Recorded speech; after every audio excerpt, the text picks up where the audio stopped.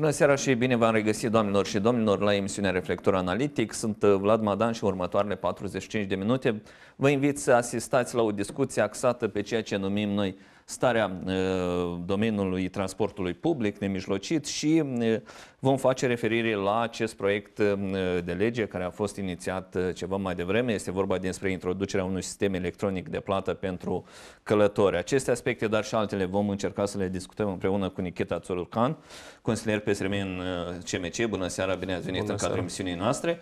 Și Sergiu Ungureanu, expert economic, activist civic. Bună seara, bine ați venit, domnule Ungureanu. Bună seara. Domnule Țurcan, cu dumneavoastră aș vrea să încep uh, pe uh, parcursul zilei uh, de ieri, dacă nu mă înșeală memoria, ați prezentat o conferință, o luare de cuvânt în care ați revenit la acest domeniu destul de discutat. Dacă nu mă înșeală memoria, vreo 4-5 ani de zile această inițiativă s-a aflat în interiorul primăriei. Vreau să deschidem parantezele și să ne spuneți ce s-a întâmplat cu acest proiect ce prevedea introducerea unui sistem electronic de plată și de ce a fost necesar acum să revenim și cât este de real. Iată un șir de întrebări pe care vreau să ne le explicați. Asta e, mulțumesc mult da. pentru invitație, dar um, proiectul a fost elaborat în anul, dacă nu greșesc, în anul 2013, în prim, prima dată a fost inițiat de către Dorin Chirtoacă, apoi în 2015, cred că și asta e foarte interesant pentru că proiect, uh, proiectul a fost numai când a fost alegeri. Și după asta n-a fost nimic, probabil el a fost în dulap de direcție, în direcție de transport, undeva acolo, nu știu. Dar noi cu colegii mei din fracțiunea PSRM, noi am apucat de lucru și de la septembrie 2017 până la decembrie noi am elaborat cu colegii din uh, direcția de transport, cu Uh, cu susținerea Universității Tehnice, cu societatea civilă, noi am elaborat un nou proiect nou, pentru că datele care au fost uh, în proiectul cel vechi, vechi e, deja nu, nu, noi nu putem lucrăm cu datele pentru că e vechi. Și chiar acum noi suntem în, uh, la etapă, trebuie de înaintăm un tender împreună cu primărie și cu direcție de transport și după asta trecem spre cale de implementare a acestui proiect. Șeful interimar de direcție de transport, domnul Butucel, a spus că în septembrie noi deja putem să călătorim cu, cu bilet electronic. Este real acest termen? Nu, eu, încadra? eu cred că este real, dar trebuie ne apucăm de lucru împreună cu, cu direcție, cu primărie, cu, fără birocrate și fără uh, mă rog, cu, cu variantele care există în primăria noastră. Da, eu cred că este un proiect foarte bun pentru cetățenii, în primul rând pentru municipiul Chișinău și eu cred că noi avem grămadă de plus, uh, de plusuri care, de, avantaje de avantajele care, da, care noi putem uh, să obținem. În primul rând, asta e economie pentru buget. Uh, municipiul Chișinău, doi din mână, asta e, um, noi putem, asta e transparență. Noi putem să vedem uh, cum, cum merge bani în primărie, în buget, în RTEC, uh, parc de, de autobuze și așa alte. Și noi uh, o să construim un sistem integru pentru RTEC și pentru parcul urban de, de autobuze și asta eu cred că e cel mai, cel mai important avantaj pentru Chișinău. Domnule Ungureanu, știu că ați studiat această problemă și din punct de vedere științific. Haideți să vedem necesitatea, pe de o parte, implementării unui asemenea proiect, pe de altă parte să vedem avantajele pe care încercați să le treacă în revistă domnul Țurcan. Da, un, un asemenea proiect este util și el vine să completeze o serie întreagă de măsuri care sunt necesare pentru a face ca transportul public să fie mai economic, mai util, mai confortabil. Deci, pe lângă măsurile acestea care s-au vorbit și care în sfârșit poate vor uh, începe cele legate de așa numită etichetare electronică, deci uh, aș spune că este o optimizare a um, etichetării călătorilor, uh, ar fi necesare de implementat la pachet cu aceasta și introducerea de sisteme GPS pentru transportul urban, trolebuze, autobuze și simplu de implementat informarea aceasta ca oamenii să știe dacă mai stau la orele 10-11 în stație, mai vine vreun trolebus sau nu, pentru că asta se poate făcut foarte ușor cu costuri foarte reduse pentru că astăzi internetul este foarte dezvoltat, sunt sisteme open data care pur și simplu a intrat în, și a văzut dacă mai este vine într-un trolebus sau nu, sau mai se duce la un alt mijloc de transport în, în acest caz. Deci lucrurile acestea trebuie începute, dar trebuie să ne uităm și la toate aspectele. Deci întrebarea are mai multe aspecte, cele legate și de ce nu, de ce facem mai departe cu oamenii deci, care lucrează ca în, în acest transport, taxatorii, așa numim. Ehm, ce facem uh, mai departe și cum facem ca acest sistem să fie uh, inclusiv pentru toți. Pentru că poate să vină cineva care să folosește o dată de transportul public. El nu are card, a venit din Strășeni și îi trebuie mai o dată, două ori prin oraș să meargă. Poate să vină cineva deci, care două ori s-a folosit numai pentru o zi. Deci ideea și ceea ce aștept eu de la acest sistem uh, și cred că și societatea așteaptă este ca el să fie cât mai inclusiv și să aibă diferite trepte, diferite posibilități. Cei care o dat, cei care două ori, cei care trăiesc în Cinoș în fiecare zi, să aibă sistemă de abonamente. Deci într-o... Domnule Ungurean, haideți să facem o incursiune da. în aspect istoric. 2013. A, a mai existat această inițiativă, s-a mai discutat, se părea că în sfârșit, iată, iată, carul se mișcă din loc. A staționat, iată, 5 ani.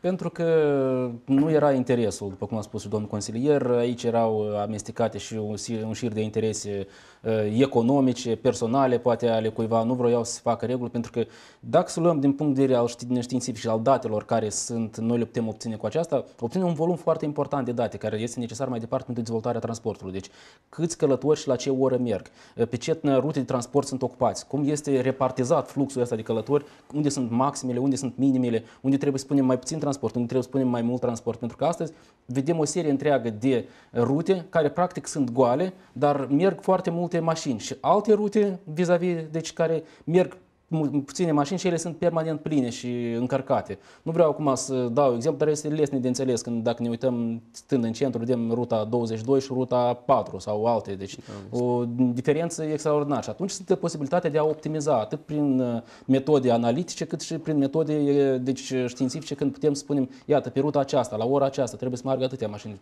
Pentru a optimiza transport și a câștiga anumiți bani pentru a nu mai arunca um, bani când vedem un autobuz de ăsta garmoșcă când merge doi oameni oameni.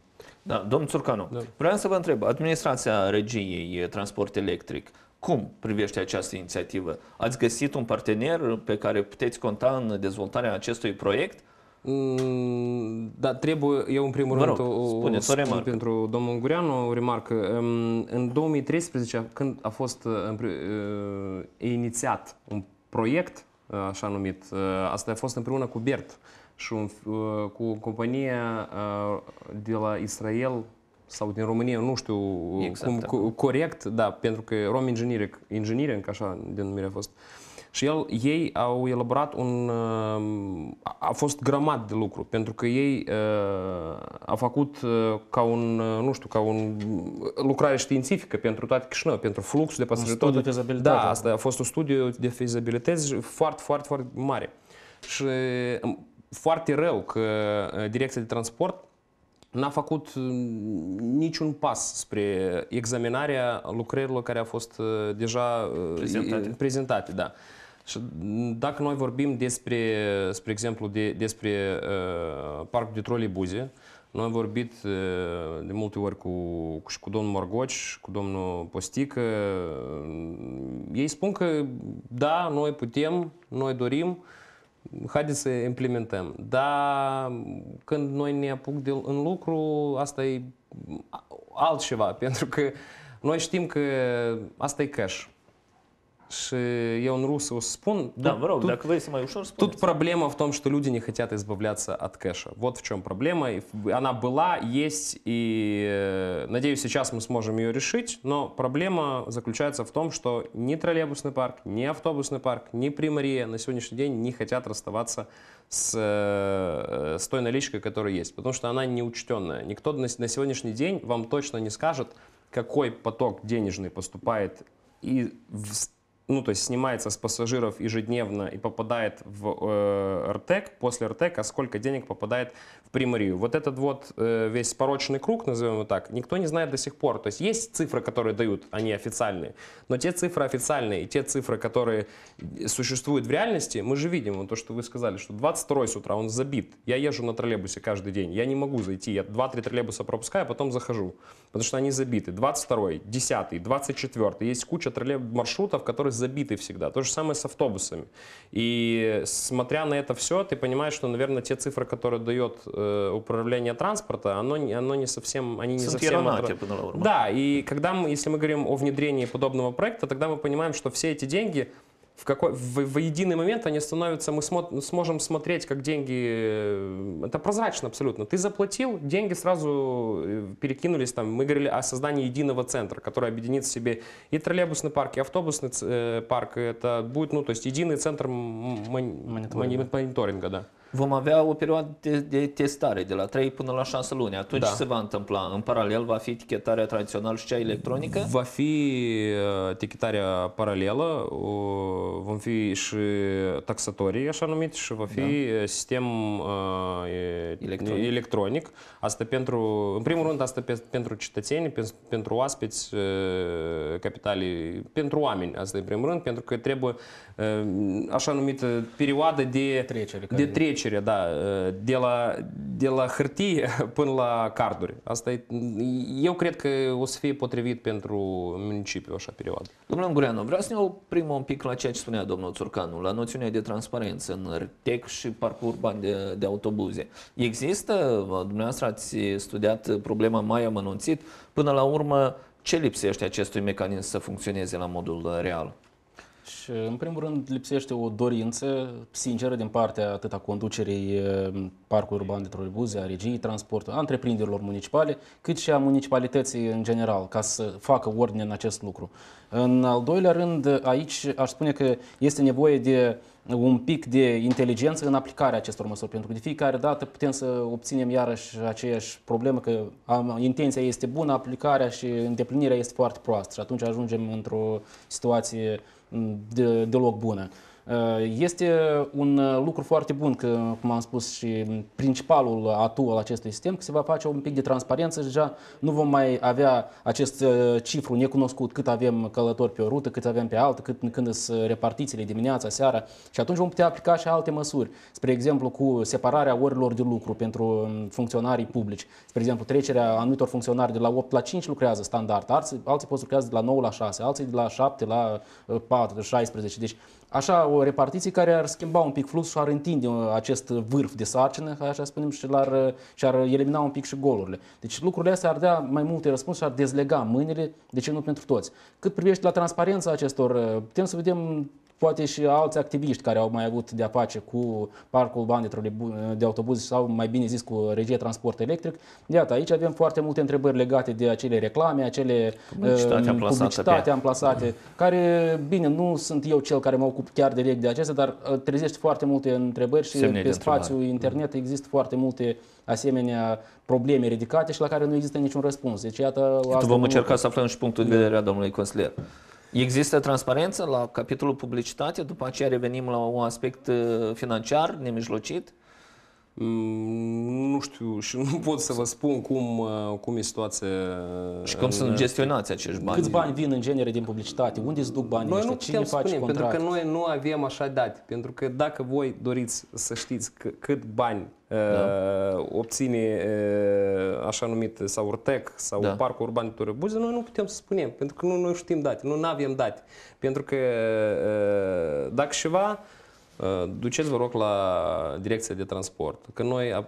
Am prezentat raportul. Da, vom prezenta raport. Dar rapoartele care dau direcția de transport, asta e, asta e bătaie de joc. Pentru că acolo, numai, numai în ziua de azi, noi putem să colaborăm cu direcție de transport. Pentru că acolo, chiar acum, este câteva persoane cu care noi putem să, să lucrăm împreună. Asta e, în primul rând, asta e foarte important, împreună, pentru Chișinău. Dar 2-3 ani în urmă n-a fost nicio Domnule persoană. Țurcan, nu da. pot să nu vă întreb. Implementarea da. acestui proiect presupune și o majorare de preț să rămânem la cei 2 lei? În, în ziua de azi eu nu, vă, nu pot să vă spun cum, e, cum va fi situația, pentru că... Dar implică niște cheltuieli pe care primăria urmează asta, să le asta suporte? E, da. Nu, eu pot să vă spun că asta e în rusă. Încă да, дată, полагаясь на опыт тех стран, которые уже внедряли подобные проекты, Тут э, в любом случае, наверное, будет повышение, которое будет связано с тем, что единоразовые поездки. То есть у тех людей, которые постоянно ездят на транспорте, для них как было, ну, то есть как было 2 лея проезд. Они карточку получили электронную, сделали, и также для них 2 лея этот проезд останется. Для тех людей, которые э, покупают единоразовый проезд, скорее всего, билет будет дороже. Но это, опять же, это нормальная практика, потому что э, во всех странах, посмотрите, даже там, не знаю, хотите сравнивать это с Москвой, Москве проезд, э, есть карточка тройка. У кого есть карточка тройка, он стоит 36 рублей, у кого нет карточки, он стоит 55. Во всех европейских странах, если вы покупаете себе карточку, которая действует, я не знаю, там, например, на 10 поездок, выгоднее купить карточку на 10 поездок, чем на одну или две. То есть это, это нормально, то есть вас не то что составляют, вам просто проще покупать на, дольше, на большее количество поездок. Сейчас тяжело... Urmează să facem o cercetare până la urmă. А оно есть. Ну, то есть это должна приходить компания, которая будет вот на э, стенда, когда будет проведен uh-huh. тендер, компании должны, которые хотят участвовать в тендере, должны сделать нам расклад для муниципальных советников, для управления транспорта, для гражданских активистов, если они того тоже захотят. Сделать расклад. Вот у нас есть, например, несколько видов, то есть как у меня, мне кажется, как у меня это выстраивается картинка, должны быть несколько видов абонементов. Должно быть абонемент льготный для, там, для например, для пенсионеров, для э, инвалидов э, и так далее. Должен быть э, проездной для школьников и студентов, должен быть э, и просто разные виды, например, там, не знаю, на месяц, на три месяца, на полгода, на год. Э, тут есть очень много вариантов, как мы можем удешевлять э, проезд для людей. Можем делать проще. Не надо каждый месяц тебе куда-то бежать, класть эти деньги на счет, непонятно искать эти 19 буда, как сейчас наши пенсионеры. Это издевательство над людьми. Они каждый месяц должны ходить и получать новый проездной и стоять в очередях, и ждать, пока им кто-то придет, этот проездной вручат. А так у них будет карточка, на которой автоматически каждый месяц будет пополнять деньги. Все. Domnule Ungureanu, uh, potrivit datelor oficiale, Regia Transport Electric ne zice că ei au reușit să reînnoieze starea de lucruri în, uh, în parc uh, în proporție de 80%. Această cifră este una relevantă în contextul în care vorbim despre confort, dar pe de altă parte vorbim și despre preț. De ce vă acord această întrebare? Pentru că acum 2-3 ani studiam această problemă și cea mai veche mașină aflată la linie era din anul 1983. S-au schimbat în 2 ani starea spre bine atât de, de mult? Deci întrebarea asta are multe aspecte și depinde cum numără, cum socot. Că da. numără într-un fel pot spune că e 80% mai bine situația, numără în altul pot spune că e 60% sau 100% mai bună situația, în dependență cu ce parametri calculează Operează ei, da? Deci iarăși aici vorbim despre transparență și cât de bine ei sunt uh, deschiși către public, către activiști, către experți. Uh, aici întrebarea care a fost uh, adresată și care este importantă pentru noi, care va fi mai apoi costul călătoriei, cum vor evolua prețurile, transporturile, trebuie să reieșim dintre aceea că până acum uh, permanent regia de transport electric uh, este în pierdere. Parcul urban de autobuze de asemenea nu este, uh, este un pic mai bună situație, dar de asemenea este foarte proastă. Deci, Prețul lucrurile... scăzut pentru o călătorie e problema? Păi în mod logic da, pentru că veniturile lor vin doar din vânzarea acestor bilete Bilet. la călătorii și din publicitate, care îi spun că e sub câteva procente, deci nu, nu este o mare cotă. Deci cea mai mare cotă este din transportul călătorilor. Și aici în mod sigur, nu datorită etichetării acestea noi de tip electronic va veni scumpirea, dar scumpirea va veni din motive, așa, hai să spunem, obiective. Dar trebuie să implementăm și alte lucruri care vor îmbunătăți uh, situația și vor mări fluxul de călători. Vor mări atunci și veniturile către aceste două instituții, uh, precum este confort, creșterea confortului în troleibuz. Pentru că uh, ne uităm în, la țările din prejur, în Ucraina, în România, în Rusia, în țările europene. Deci, practic, toate transporturile au uh, aceste uh, climatizoare, au uh, ventilatoare pentru reînnoirea aerului. Deci toate lucrurile astea sunt implementate. Așa că la fie... noi pe vreme rea plouă în, în interior. Păi da, astea sunt lucruri care trebuie să evitate și noi de la asta trebuie să pornim. Apoi trebuie să ne gândim la calitatea transportului, cât de repede și cât de comod este. Dacă din punctul A în punctul B ajungi cu trolebuzul, cu autobuzul, comparabil cu mașina personală, atunci oamenii vor prefera poate să treacă și la, maș- și la transportul public. Uh, și aici trebuie să vedem cu ce măsuri mai luăm, mai implementăm. Spre exemplu, eliberăm un pic din parcările astea neautorizate, dăm o linie separată pentru uh, anumite străzi, pentru transportul public. Deci lucruri care pot fi implementate și aceasta lesne va aduce călători în plus. Iar în ceea ce privește aceste etichetări, este foarte bine că s-a menționat că trebuie să fie diferite tipuri. Deci începând de la o călătorie până la cele de la 10 călătorii, uh, o zi, două zile, deci așa mai departe, astfel încât ca oamenii să aibă comunitatea maximă. Spre exemplu, mă duc în Istanbul, acolo imediat, chiar din aeroporturi, din uh, unde ajungi la gară, da. obții acele carduri foarte ușor. Deci sunt niște și nici nu sunt așa, hai să spunem, carduri în sens plastic, cum noi le cunoaștem. No, sunt niște hârtie. elemente din carton, hârtie foarte ieftin de fabricat, ca să nu se spun acum că iată, trebuie să facem tender, să ia să cumpărăm niște carduri extrem de scumpe. Deci niște hârtii de carton care au imprimate o serie întreagă de date pe ele și achizi. Și de fiecare dată sunt terminale foarte multe unde mai poți mai pui iarăși bani pe, pe călătoria aceasta. Dar oferă o comoditate extraordinară, pentru că poți să le folosești la diferite transporturi. Deci sunt exemple. Noi trebuie doar să ne gândim cum le preluăm și să le preluăm astfel încât ca să fie cu transparență, iarăși să nu apară scheme de corupție, pentru că la noi în Moldova foarte des, chiar și ideile bune, încep imediat să spună că iată, aceasta va costa de 3 ori mai mult sau mai... Deci trebuie să evităm schemele astea de corupție, pentru că până la urmă tot noi le vom plăti. Iar pentru comoditate, chiar spunem, chiar și aceleși condiționiere instalate, ele nu sunt decât câteva procente din costul trolebuzului sau din costul autobuzului. Deci cât e de vechi trolebuzul sau autobuzul, asta este un lucru mai puțin relevant pentru că astăzi să ne aruncăm iarăși să cumpărăm doar automobile sau doar mașini pentru acestea de tip nou de, care au doar 2-3 ani, nu este relevant. Poate nu este și asta, o, dar trebuie întâi să vedem ce facem cu acestea existente, pentru că acestea pot fi optimizate și după care dacă există, nu există altă soluție decât casarea lor, atunci le casăm. Domnule Țurcan, în ședința primăriei, primarul interimar a avut anumite replici către cei care conduc parcul de autobuze și spunea că până la urmă gestionarea nu este cea care ar trebui să fie. E o lipsă de management? E defectuos ceva la mijloc? Asta a fost uh, problemă, eu nu știu, da. parcă da. 3-4 ani exista o problemă cu, în primul rând asta e problemă cu parcul urban de autobuze. Autobuze, da pentru că dacă noi vorbim despre cifra 80% de... Asta e cifra așa, hai să numim, oficială din, din partea din primărie, direcție de transport, dar situația în parcul urban de autobuze e foarte, gravă, foarte, da. foarte gravă, da, pentru că acolo este, există vreo 80, așa, 70-80% de așa numite uh, autobuze Flintstone, pentru că noi putem când călătorim să vedem drumul. Asta e, eu cred că asta e în primul rând lipsa de Респект. Я даже не знаю, как это правильно сказать. Это просто, это сложились столько факторов воедино, потому что у нас, посмотрите на то, что происходило до этого всегда. У нас троллейбусы, то есть я почему-то, то есть как таким-то образом так получилось, что троллейбусы у нас были э, во всех историях все было в троллейбуса внимание уделено. Закупали новые троллейбусы, конструировали троллейбусы. Понятно, связано, что с тем, у нас, что у нас было здесь э, производство. Э, обещали и те же кондиционеры. И что самое интересное, в новых троллейбусах есть специальные места для того, чтобы для устанавливать эти кондиционеры, но кондиционеров там нет, хотя обещали. Э, а с автобусами нет. То есть их как забросили, ну то есть как были те икарусы старые, которые ездили, вот те икарусы из начала 90-х, с конца 80-х они ездят. Есть коммерческие маршруты, которые играют по правилам, скажем так, э, троллейбус, автобусного парка. Это коммерческий маршрут номер 5, коммерческий маршрут 23 и самое интересное 122 автобус, который по документам вообще маршрутка.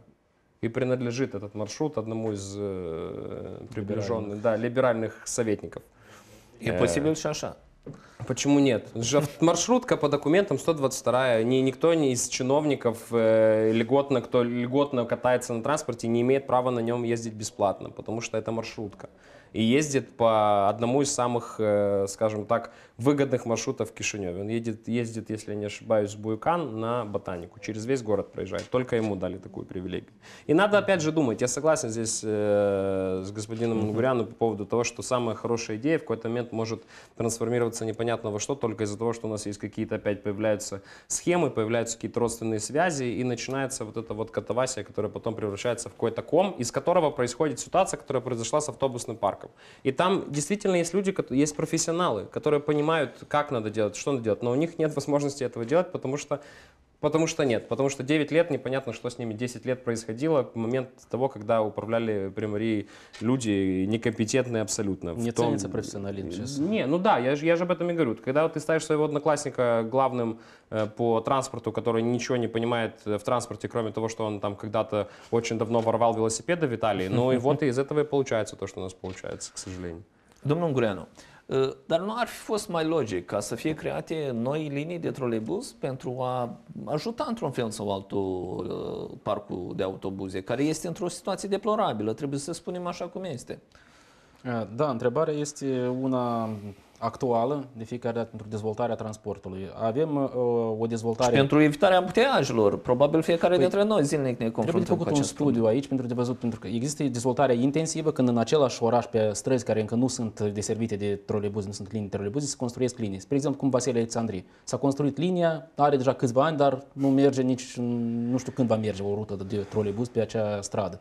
Trebuie de văzut, este fezabil, este actual la momentul de față sau nu. Și sunt uh, zone unde se construiesc case noi, cartiere noi, spre exemplu, acolo trebuie să trasate poate noi linii de trolebuz, poate în, în alte zone unde pe viitor se vor dezvolta cartiere noi ale orașului de trasat uh, transport, ca acestea să devină mai atractive. Deci lucrurile astea trebuie calculate, trebuie, cum au spus și consilierul, să fie oameni profesioniști care să vină, să spună, uitați, facem în felul următor uh, sau în felul acesta. Deci lucrurile, uh, și iarăși spun că trebuie să facem transportul public să fie atractiv. Pentru că el, dacă va fi atractiv, vom fi și, vor fi și călători, vor fi și posibilități de dezvoltare și chiar și aceeași publicitate care este astăzi, eu nu sunt împotriva acesteia, dar haideți să fie o transparență, să spunem cât din uh, suprafața troleibuzului, autobuzului poate să acopere aceasta. Dacă nu creează probleme, cum sunt astăzi foarte multe cazuri, când pur și simplu acoperă sticla sau nu poți vedea unde ești. Dacă mai ales nu mai este și uh, vociferarea stației, unde la ce stație suntem, oamenii care nu prea știu,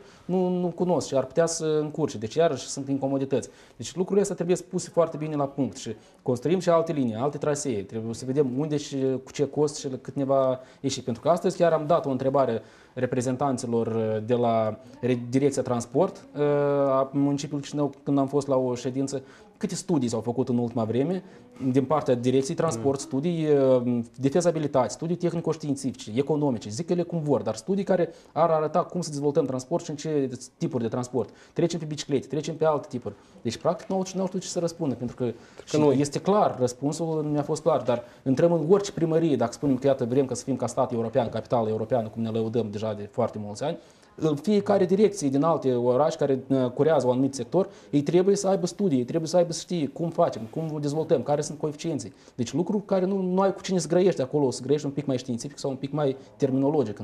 Deci îmi pare rău că ajungem în așa, în așa ситуация. Я тут не защищаю да. транспортников, но э, а как они могут проектировать что-то, когда у нас в городе здание может появиться в середине квартала. Так То это есть комплексно решается это, Да, так я же говорю, что тут, тут э, они не, ну, это невозможно на данный момент э, каким-то образом проектировать новые э, транспортные направления, Автомобиль. новые, как открывать какие-то линии. Если, ну, это непонятно. У нас, во-первых, узкие дороги, которые не всегда подходят для того, чтобы по ним проезжал троллейбус. Во-вторых, э, давайте скажем, что транспортная развязка в Кишиневе э, не самая лучшая, это мягко говоря, потому что надо нанять потратить лучше деньги, вместо того, чтобы клеить э, сердечки на светофоры на 14 февраля, потратьте эти деньги на то, что наймите урбаниста, который вам расскажет, как правильно переформатировать направление транспорта в городе для того, чтобы было легче передвигаться. Каждое утро, у нас это мы уже переходим не только на, на транспорт общественный, а вообще каждое утро у нас одни и те же улицы стоят в пробках.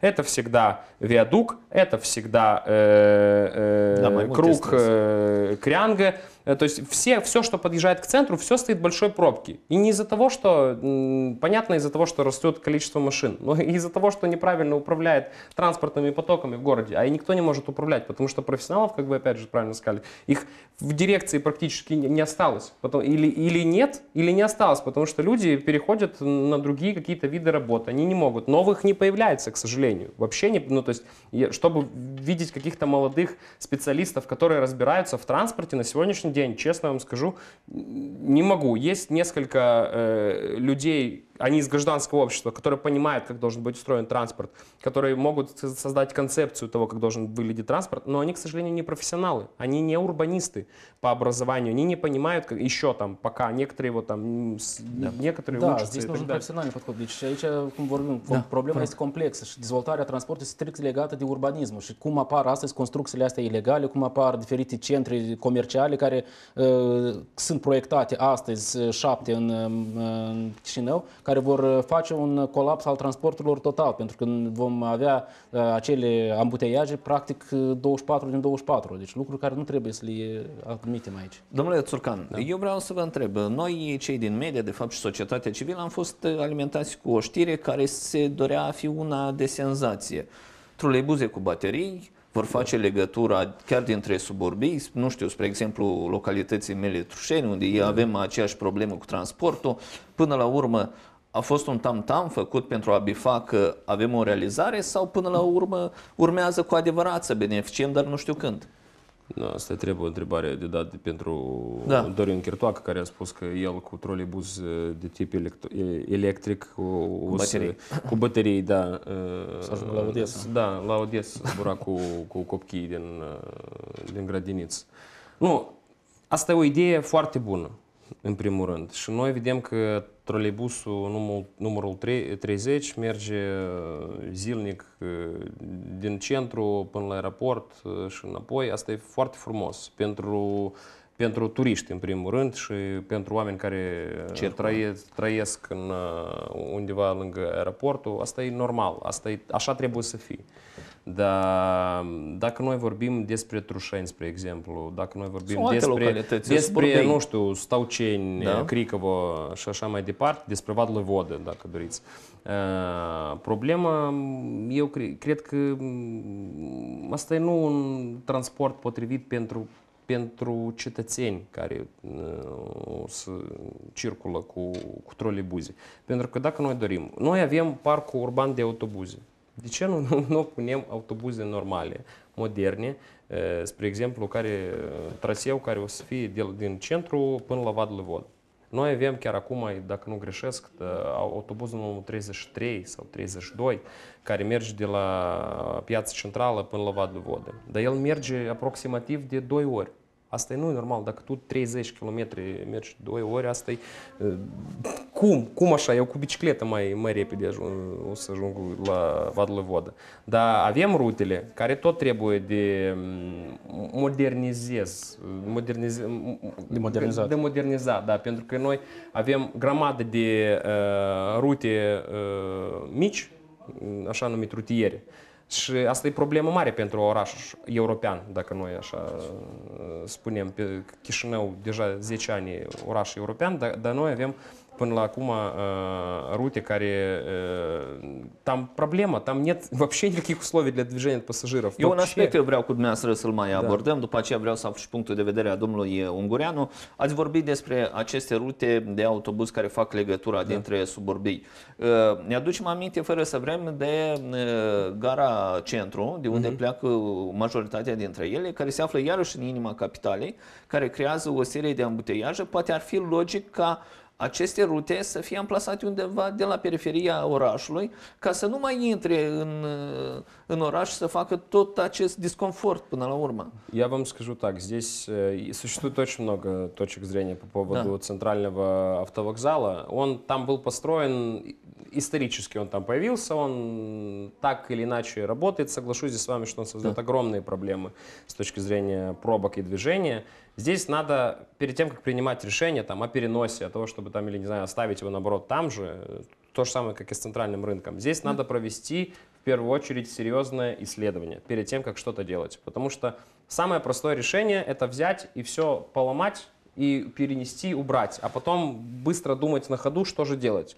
Э, здесь возможно, возможно, его надо, наверное, со временем будет когда-то в дальнейшем, через какие-то несколько лет, действительно выносить э, куда-то в сторону, потому что он будет создавать и в дальнейшем еще больше проблем. Сейчас, если останутся места свободны. Если, да, если останутся, еще не построят какие-то там жилые массивы где-то, э, но эм, надо задумываться уже сейчас. Надо сейчас начинать, опять же, работать с профессионалами, с урбанистами, с архитекторами, с градостроителями, чтобы смотреть смотреть транспортниками, куда это надо, куда надо уносить этот э, центральный автовокзал для того, чтобы он был удобен в первую очередь для людей. Весь, все, что происходит в нашем городе, должно быть удобно для людей в первую очередь, для пешеходов, не для тех людей, которые ездят на машинах, а для тех, которые ходят. Сейчас город Кишинев не предназначен для пешеходов абсолютно. Вы не можете нормально пройти 10 метров, не наступив в лужу, в грязь, в какую-то яму, где что-то какая-то колдобина, где шел асфальт, а потом начинается тротуарная плитка, а потом непонятно что. Ну, это, это хаос, он везде, не только в транспорте, он повсюду нас окружает, к сожалению. Domnule Ungureanu, ca să revenim la troleibuzele pe bază de baterie, există fundament științific să cred că, nu știu, în viitorul apropiat eu voi merge acasă cu, cu acest mijloc de transport? Haideți să vedem în Real lucrurile să le vedem lucrurile trebuie în comparație luate și trebuie să comparăm da. cu ce.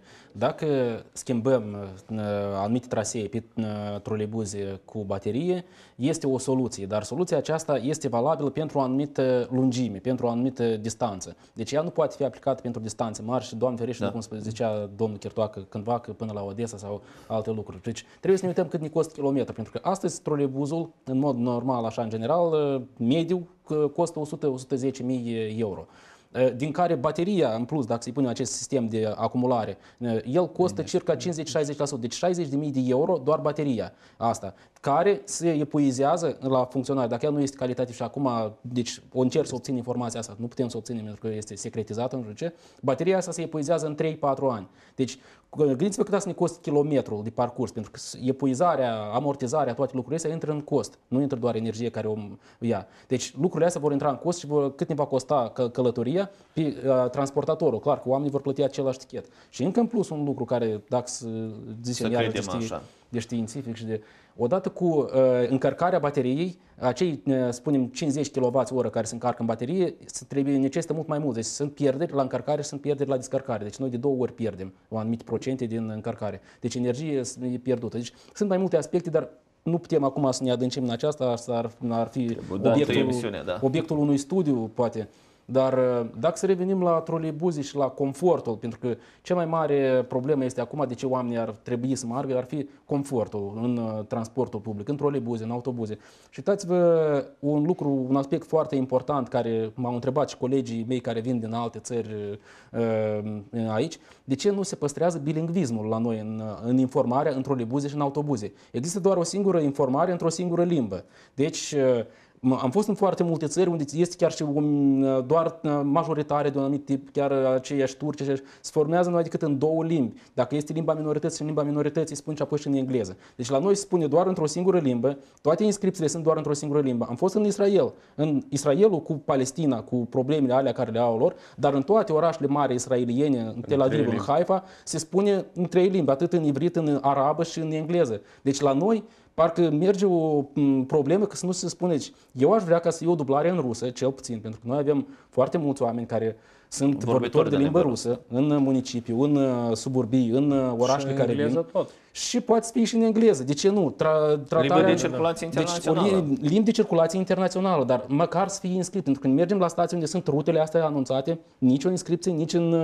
în rusă, nici în engleză, hai așa spunem. Nici o inscripție nici în troleibuz, în autobuze care sunt... Deci chiar și când se anunță stații, pentru că lucrurile astea sunt foarte ieftine de realizat, dar aduc un confort și aduc o normalitate în societate, pentru că chiar și dacă luăm exemplu României, acolo în genere, dacă minoritatea este într-o localitate minoritate de 20 20% din, sau 20 peste, deci toate documentele, toate administrația publică trebuie să fie în, în ambele limbi. La noi, în Republica Moldova, sunt și localități cu peste 50 și nici nimeni nu respectă. Deci asta este un mic aspect, poate că aș vrea chiar eu să ridic, pentru că eu pot să uh, am observat lucrul ăsta și trebuie, bine, el trebuie ridicat și de, de alții, dar trebuie să încercăm să facem confortul plus condiționere, plus și acea etichetare electronică care ușurează lucrul.